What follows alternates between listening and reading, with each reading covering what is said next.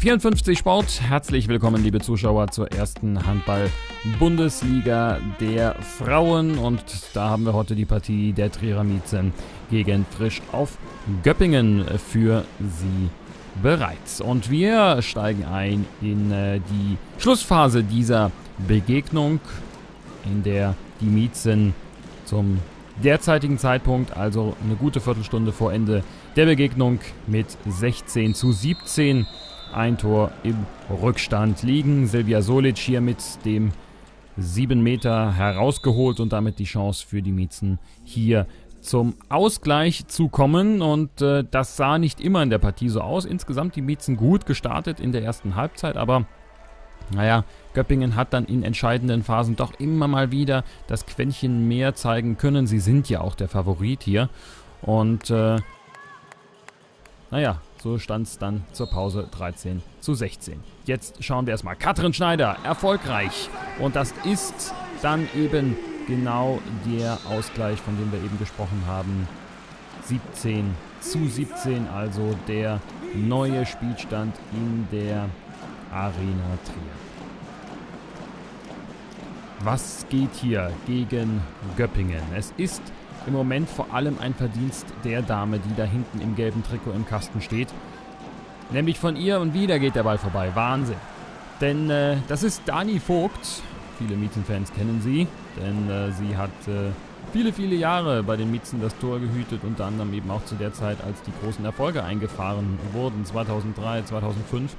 Dann aber äh, ist sie gewechselt hatte jetzt die letzten Jahre in der dritten Liga bei der TG Konz gespielt. Und äh, hat sich vor allem eben auch beruflich etwas orientiert. Der, Schu der Schuss von Katrin Schneider findet nicht das Ziel, aber sie wird gestoßen. Deswegen nochmal Ballbesitz, denn es gibt jetzt natürlich hier die Chance, in Führung zu gehen.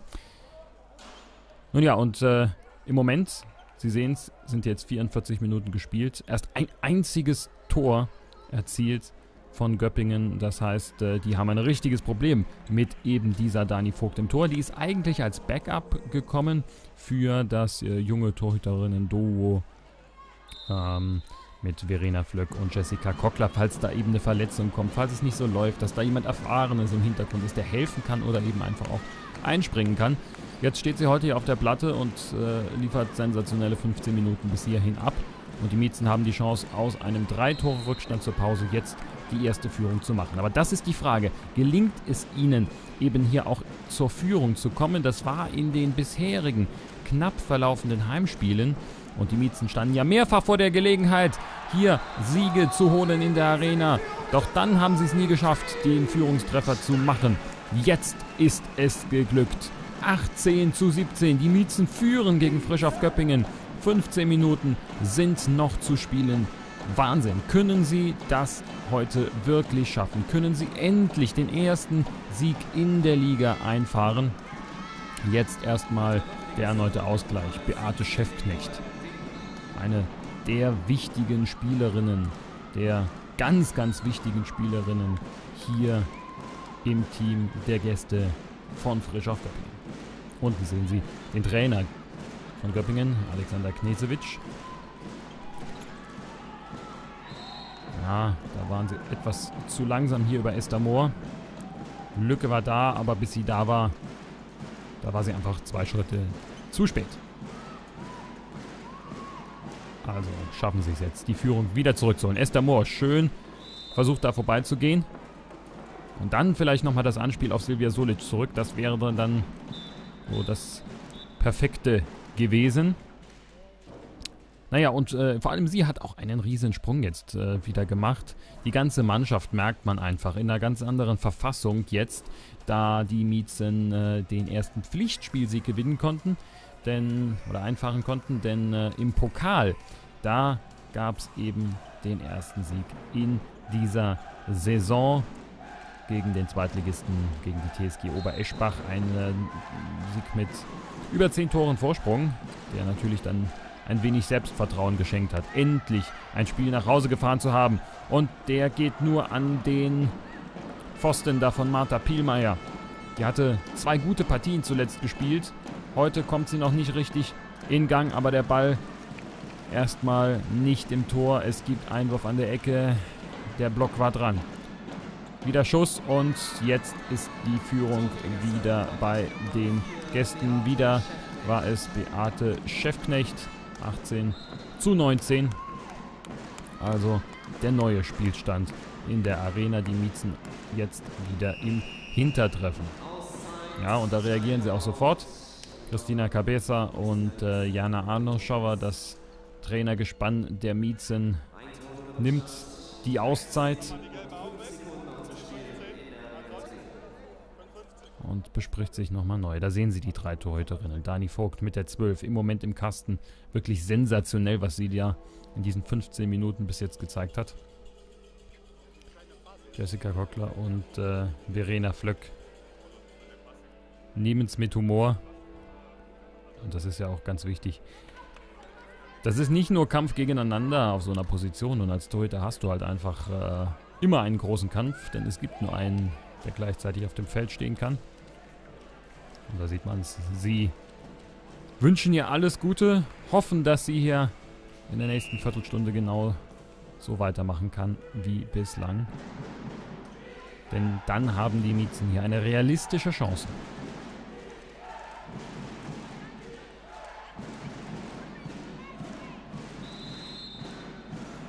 So, und weiter geht's. Also der äh, aktuelle Spielstand 18 zu 19. Es läuft die 47. Spielminute.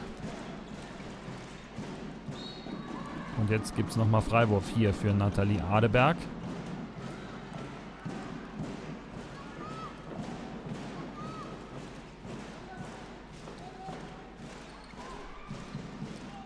Göppingen jetzt mit einer ganz offensiven Deckungsvariante. Da tun sie Miezen sich äh, häufiger schon schwer oder taten sich schwer in dieser Saison.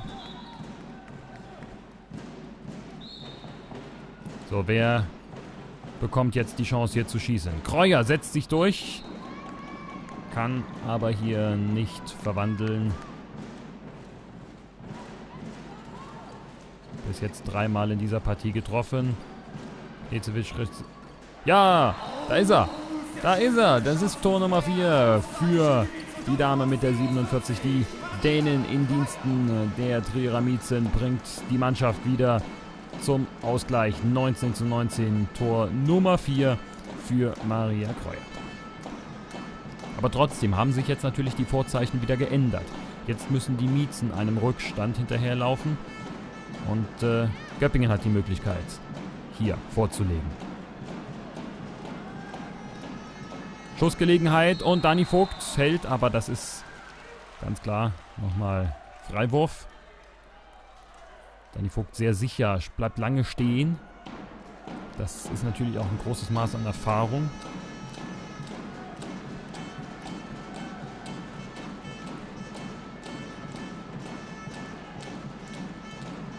Und wieder Parade, wieder Parade von Dani Vogt.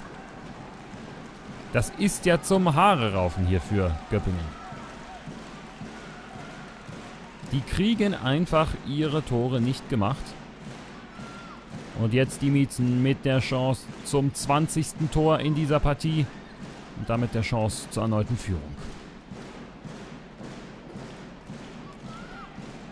Und da ist der Platz frei für Silvia Solic, die hier ein Loch zum 20 zu 19. Die Miezen damit wieder in Front.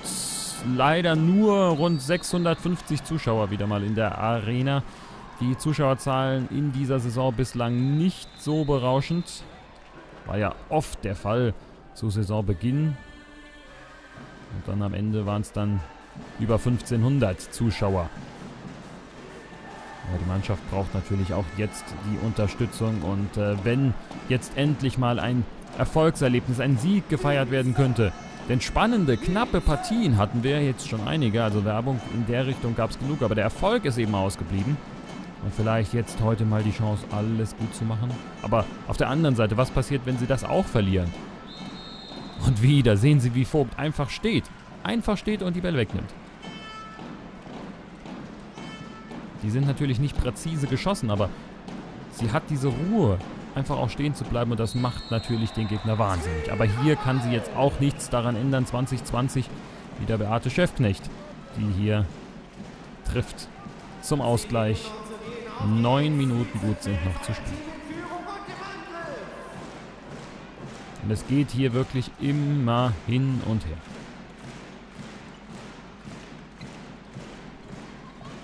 Pielmeier verschießt wieder. Die kommt nicht in die Partie rein, leider heute.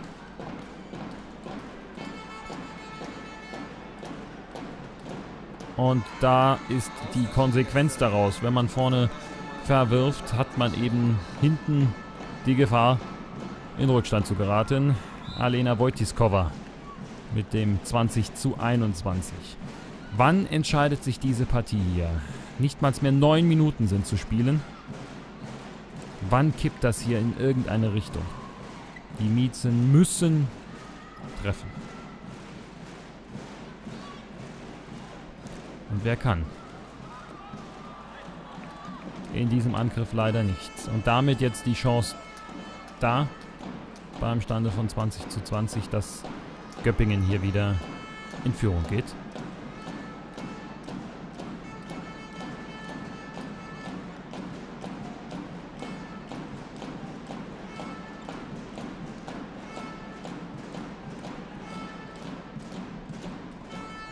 Und Vogt fischt den wieder raus.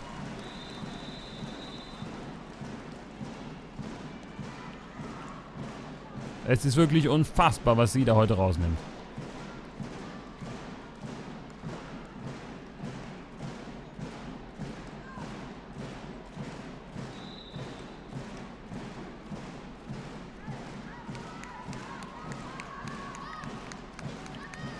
Man sagt ja bei Torhütern, alles, was über 50% in der Quote liegt, ist schon sensationell. Sie ist im Moment weit, weit, weit darüber.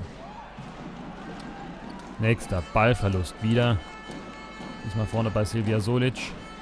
Und damit die Chance für Göppingen.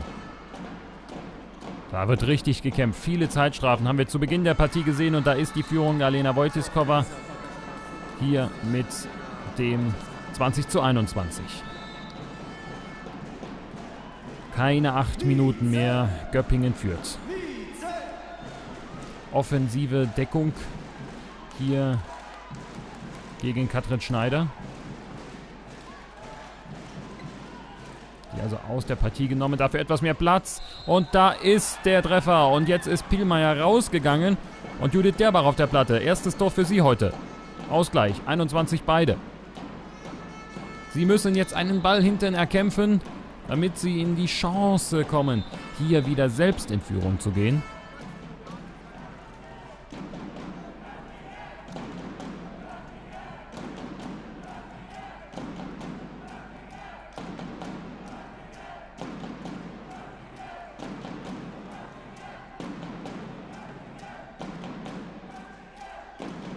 Wenn ich das richtig sehe, dann hat der Treffer da nicht gegolten.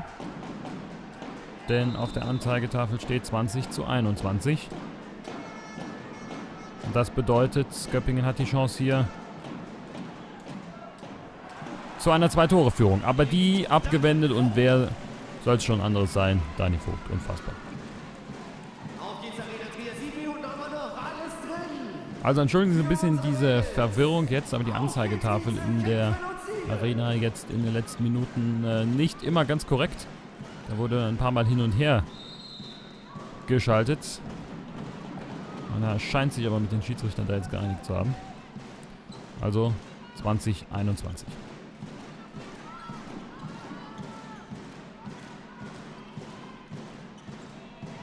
Silvia Solic, da ist er! Jetzt aber wirklich dann der Ausgleich. Nochmal zum Schiedsrichter schauen. Gilt der Treffer? Jawohl, er gilt.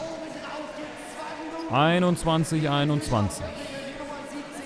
Das wird hier ein Herzschlagfinale.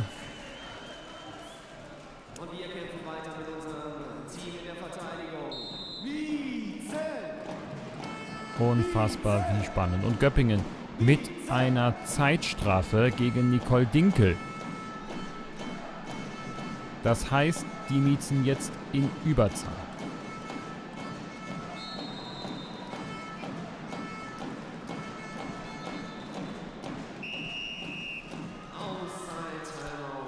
Und daher auch die Re Reaktion von äh, Gästetrainer Alexander Knesewitsch beim Stande von 21 zu 21 und gut sechs zu spielenden Minuten noch nimmt er die Auszeit. Seine Mannschaft also in einem Drittel der verbleibenden Spielzeit hier in Unterzahl.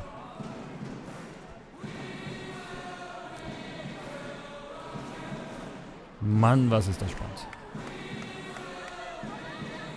Und die Mannschaft scheint mir sehr selbstbewusst, scheint mir wirklich ähm, keine Angst zu haben jetzt vor dieser Schlussphase. Das ist anders, als wir das zuletzt erlebt hatten in den Partien. Und das ist natürlich dann auch der Unterschied, der hier am Schluss entscheiden kann darüber, ob die Miezen die Chance haben erstmal und auch nutzen, diese Partie hier tatsächlich mit einem Punktgewinn oder vielleicht ja sogar dem Sieg abzuschließen. Das wäre in jedem Fall eine kleine Sensation. Denn äh, Göppingen zwar auch erst mit vier Punkten, aber wenn man da das Programm anschaut und auch ein bisschen anschaut, wie die in letzter Zeit dann gespielt haben in den letzten drei Partien, dann äh, muss man die einfach deutlich stärker einschätzen als äh, die Miezen nominell. Äh, und jetzt sind sie auch eben wieder in Führung gegangen und die direkte Antwort von Judith Derbach. 22, beide wieder.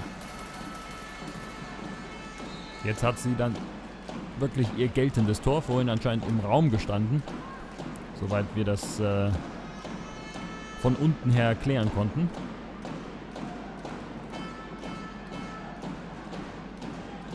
Aber sie müssen natürlich einen Ball gewinnen und da wäre es fast passiert.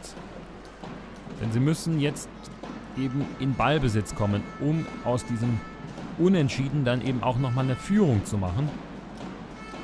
Recht offensive Deckung jetzt hier. Zweimal Mann gedeckt und der Ball ist weg. Der Ball ist weg. Kreis ab für Dani Vogt. Und die Chance für die Miezen zur Führung. Der Bach, der ist drin. 24. Spielminute, die Miezen in... Äh, 24 ist natürlich Quatsch. 56. Spielminute, die Miezen in Führung mit 23 zu 22. Hier riecht es nach einer Sensation. 23 zu 22. Die Miezen jetzt gleich wieder gleichzählig und da Adeberg, das gibt zwei Minuten. Der geht ins Gesicht. Äh, denke, sie hat da so ein bisschen auf Stürmerfoul spekuliert. Und ich glaube, Christina Cabeza auch.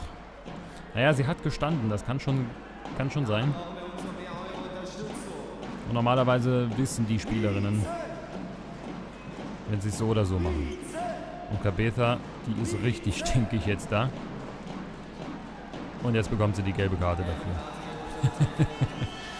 Naja, so ist der Sport. Aber das kann jetzt natürlich auch entscheidend sein, denn jetzt sind die Miezen in Unterzahl in äh, der Hälfte der verbleibenden Zeit.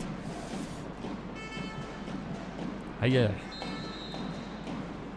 Ich hoffe mal, dass Cabeza da nicht auf Spanisch geschimpft hat. da kann sie auch Pech haben, dass der Schiedsrichter das versteht und äh, ja, in Unterzahl. Jetzt dann der erneute Ausgleich für die Gäste 23-23. Keine vier Minuten mehr zu spielen. Trier muss jetzt aus jedem Angriff einfach ein Tor machen. Damit das hier irgendwie mit den Punkten, oder den Punkt ja zumindest mal, nach viel mehr sieht es im Moment nicht aus, reichen kann.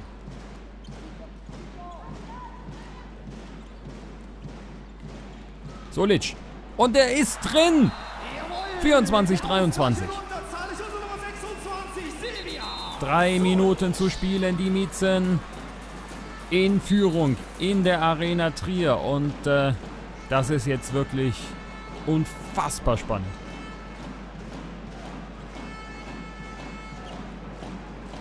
Jetzt in der Abwehr einen Ball holen und das Ding hier ist fast zu Hause. Jawohl! Aber es gibt nochmal Fragen.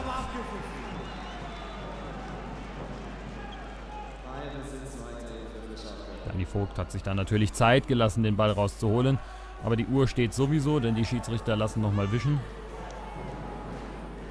Wer hat jetzt die besseren Nerven? Flattert den Miezen angesichts eines möglichen Sieges hier dieselbigen?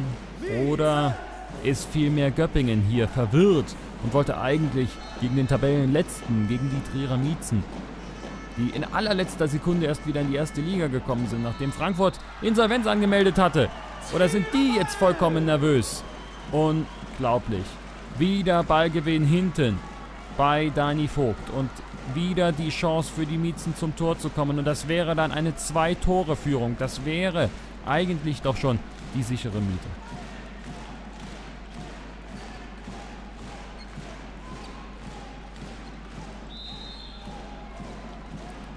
Aber Freiwurf für Trier. Sie müssen ein Tor machen und alles scheint hier geklärt.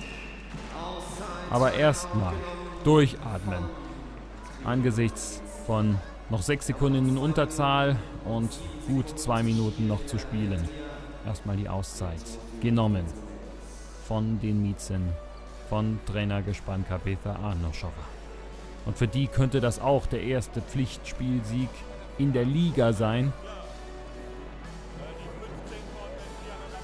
Im Pokal, da haben sie wie gesagt schon gefeiert. Aber jetzt endlich in der Liga auch. Sechs Spiele ohne Sieg und jetzt heute ausgerechnet gegen Göppingen, gegen die man alles andere als Favorit ist. Ausgerechnet da heute. Ist es jetzt drin? Oder bricht das Ganze am Schluss wie ein Kartenhaus wieder in sich zusammen? Wir gönnen es der Mannschaft so sehr, endlich die ersten Punkte zu holen. Also, auf geht's. Arena Trier, hier sitzt definitiv keiner mehr. Solic, ganz über die Außenbahn versucht sie's. Und jetzt, ja nicht Solic, pardon, das war Megan Ballet. Und die kann ja von da schießen. Aber denke ich, richtige Entscheidung hier stattdessen den Freiwurf zu nehmen.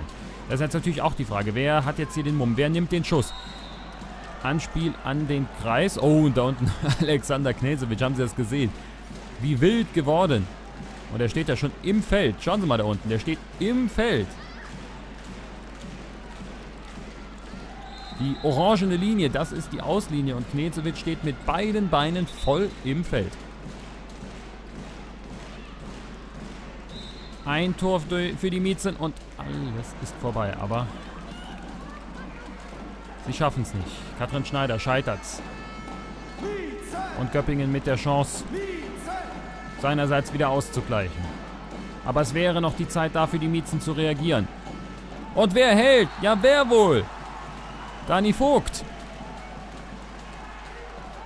Hält sie hier den Sieg? Also, den Punkt, den haben die Miezen sicher. Jetzt ist noch die Frage. Sieg für Göppingen, äh, Sieg für die Miezen oder Unentschieden?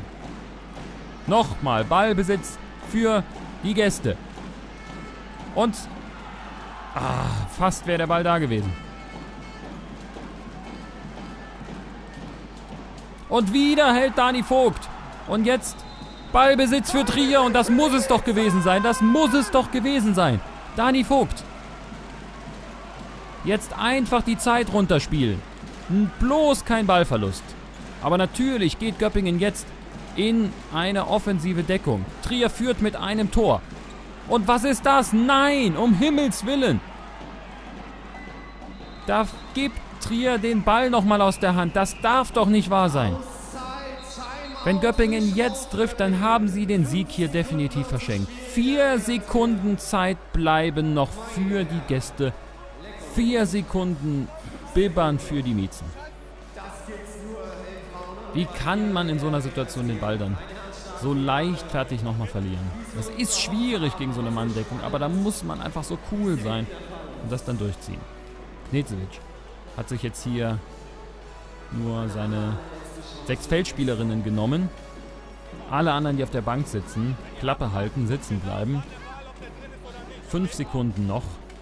Laut offiziellem Spielbericht sind es sogar nur noch vier.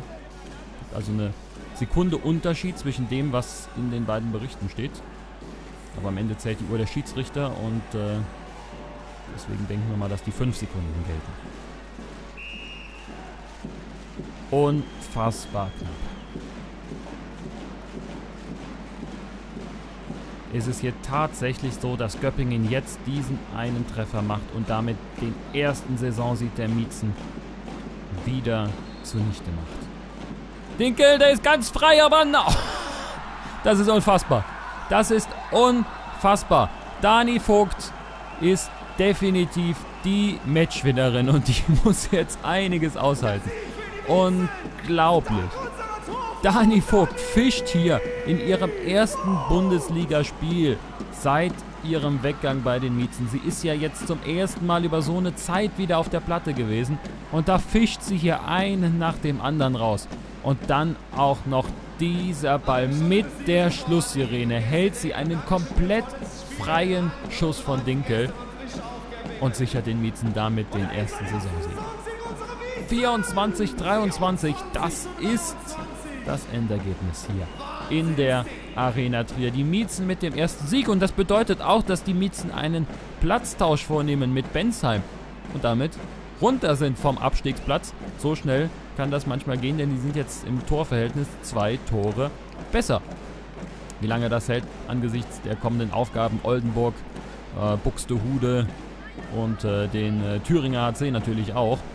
Ähm, das wird man erstmal sehen müssen. Aber trotzdem, jetzt erst einmal feiern, glücklich sein und vielleicht ist das der entscheidende Knoten, der heute hier in der Arena geplatzt ist. Zwei Siege in zwei Pflichtspielen in Folge. Das kann der Mannschaft nur Auftrieb geben. Und äh, ja, sie haben es verdient. Sie waren so knapp davor. In vier Spielen hätten sie es eigentlich zu Hause irgendwie schaffen können. Es hat dann irgendwie nicht sollen sein. Aber heute hat es auch irgendwie geklappt. Also, manchmal gibt es dann doch noch Gerechtigkeit auch nachgelagert. Wir haben uns gefreut, heute dabei gewesen zu sein bei dieser Begegnung und sind natürlich auch bei den nächsten Heimspielen dann wieder für Sie am Ball. Am 30. Äh, Oktober geht es weiter, wie gesagt, dann gegen äh, Buxtehude. Herzlichen Dank, dass Sie eingeschaltet haben hier bei 54 Sport. Seien Sie auch das nächste Mal wieder mit dabei. Danke fürs Einschalten, bleiben Sie uns gewogen. Tschüss und auf Wiedersehen.